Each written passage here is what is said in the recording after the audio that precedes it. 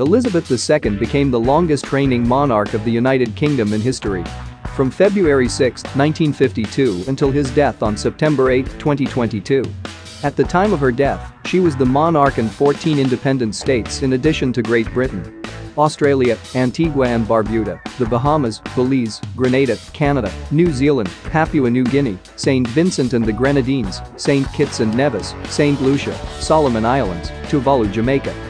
During her life she was the queen of 17 more states, which subsequently abandoned the monarchy. Very few of the rulers could beat this record. At the same time, the royal person always shared human weaknesses with her subjects in particular, attachment to domestic and sometimes wild animals. The queen has been in contact with animals since childhood. In 1933, a seven-year-old girl received a Pembroke Corgi dog, but from the future King George VI, she then went to both daughters at once both Elizabeth and Margaret.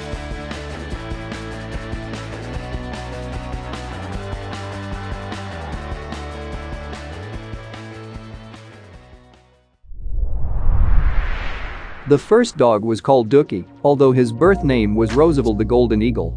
He appeared with Princess Elizabeth in 1933, she saw them with several friends and asked her father, the future King George VI, to get her the same dog. Thus was born Dookie, the tiny tyrant as the press of the time characterized her.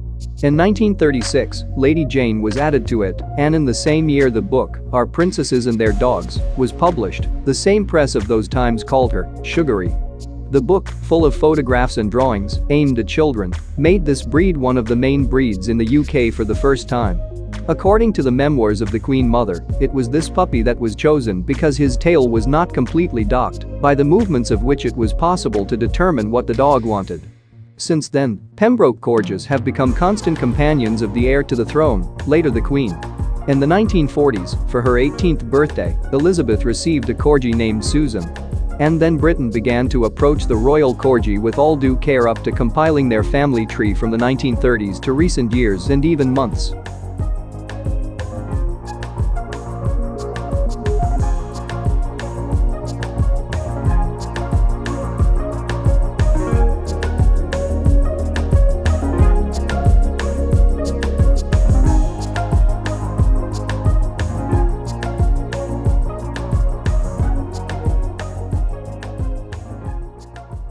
Elizabeth II received her first personal corgi at the age of 18, the dog's name was Susan, and she lived for less than 15 years. All subsequent royal corgis and dorgis, a cross between a corgi and a dachshund, carry the blood of Susan. The first Welsh corgi, named Susan, was given to the Queen on her 18th birthday by her father, and since then, Elizabeth II has had more than 30 Welsh corgis. Subsequently, about 30 Pembrokes appeared in the Queen's entourage. Her Majesty's corgis lead a royal lifestyle, just like their mistress.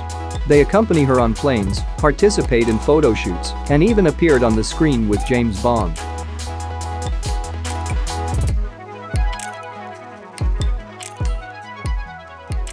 Corgis also eat luxuriously. Steaks prepared by the palace chef and served on silver platters are served along with a menu individually designed for each pet, which includes homeopathic and herbal medicines. The dogs sit in a semicircle at the queen's side, and she feeds them one by one in order of seniority, while the rest quietly wait their turn.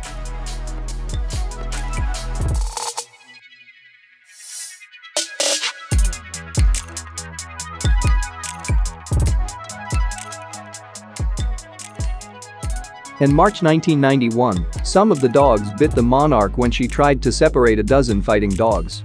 Dogs are taken very seriously at the royal court, for example, in July 1999, the royal footman Matthew King lost his job after he jokingly drugged Corgis with alcohol.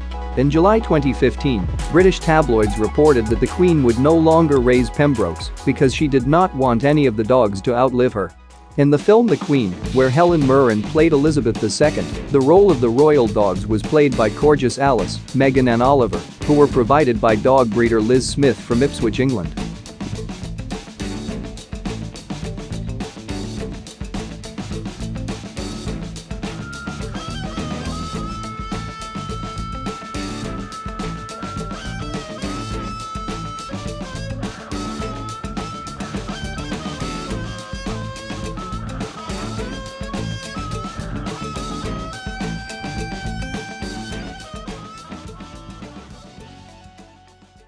What will happen to the beloved dogs of Elizabeth II now?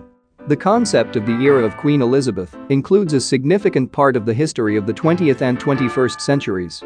But there is one aspect that the media in Britain write about separately. Books were written about him and films were made, including animated ones. It is depicted in paintings, postcards and coins. We're talking about Royal Corgis. To understand the context, Great Britain, which does not aspire to be a state of high-rise buildings, and people prefer even small, but their own houses, has been fond of pets for centuries. Every third house will have cats or dogs on any of the streets of a city or village. There is no such thing as a pack of stray dogs here, even for a dog from a shelter you will have to pay several hundred pounds, because there is already a queue for it. Moreover, Queen Elizabeth II, with her ever-increasing authority, had corgis since childhood. The first mention of a shepherd breed from Wales dates back to the 10th century, and it has become popular in the modern world since the second half of the 19th century. Willow the dog Queen Elizabeth's last corgi was euthanized in 2015. The Queen herself made this decision, unable to look at the suffering of a sick animal. Dog Willow was 14 years old and he suffered from cancer. The Queen personally made the decision to euthanize the dog to alleviate his torment. The Queen's first personal dog, named Susan, appeared in 1944. 14 generations of these dogs were born at Buckingham Palace, all descended from Susan. In 2015, the Queen made the decision to stop breeding dogs due to her advanced age. On our channel we publish interesting historical facts about pets of various breeds and pets of celebrities. Don't forget to give a thumbs up and subscribe to our channel.